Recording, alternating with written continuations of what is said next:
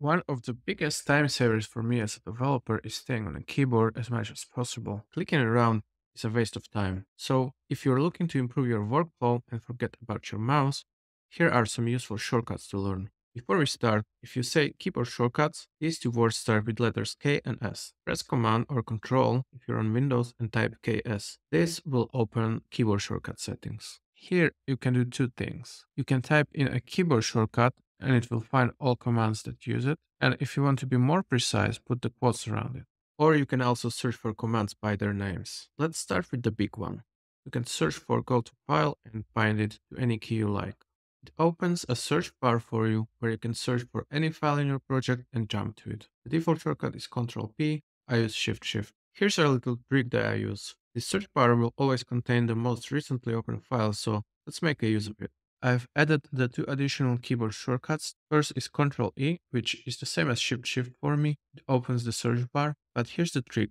I've also set the Ctrl E shortcut to this command here. What this does is that if you keep pressing Ctrl E, it will cycle through the most recently opened files. For example, if I wanted to go to the previous file, I would simply press it twice. Two files back in history, I press it three times, and so on. The important detail is that you need to add this condition. Right click and select change when expression, type in files picker and in quick open and save it.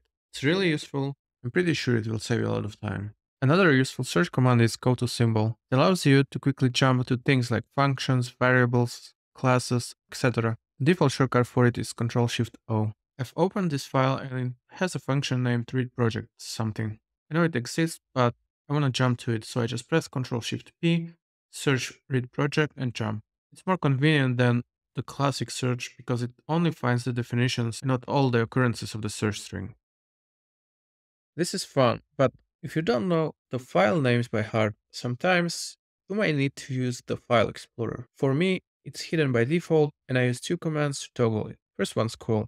It's called Reveal in Explorer. So whichever file is currently open will get focused in the Explorer when I use it. To make it work this way, you'll need to add these conditions here. I bind it to Ctrl Q and the other way around, the file explorer is already focused, the same shortcut will close it.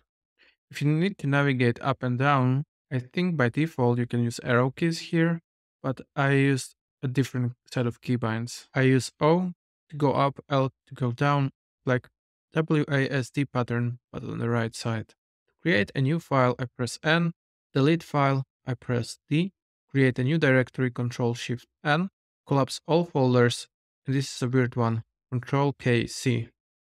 Okay, I promise this is the last one about jumping around. I'm sure you are familiar with Control Shift F command, which allows you to do a full text search in the project. Do you know you can then press Command Enter to see all your results like this? Even more so, you should bind a go to definition command to a key.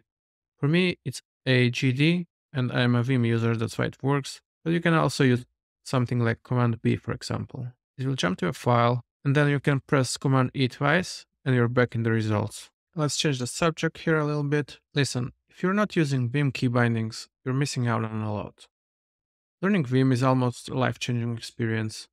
The learning curve is steep, but trust me, so worth it. There is an easy mode, however. Not sponsored or anything, but if you want to learn Vim, try the Vim Adventures game. And I will link it in the description. It is a really fun way to finally learn it. Also, Here's a secret tip, but don't tell any Vim Power users about it because they will cancel me for it.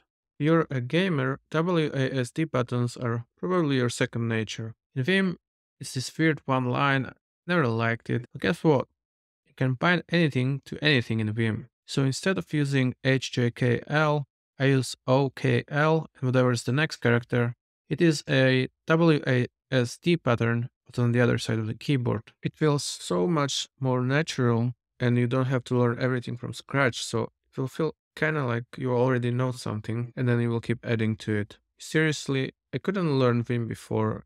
I just hated it. But once I changed those key bindings, I fell in love with Vim and I can't imagine ever coding without it. One editor's not always enough. Press Ctrl 1, 2, 3, and so on to split my screen, open new editors, and switch the focus between them. Those are the default ones, so just give it a go. And to close the editor, press Command W, just like in Chrome. If you use the terminal inside your VS Code, here's the command to toggle it on and off. I won't even try to pronounce this. Okay, here's the last one. It's basically a Google, but for VS Code. I don't know what's the default shortcut, but command name is show all command.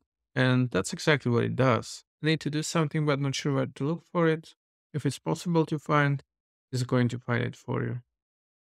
If you're still here, you're the best. It took me forever to record this video, so if you found it useful, like, subscribe, comment, whatever works for you.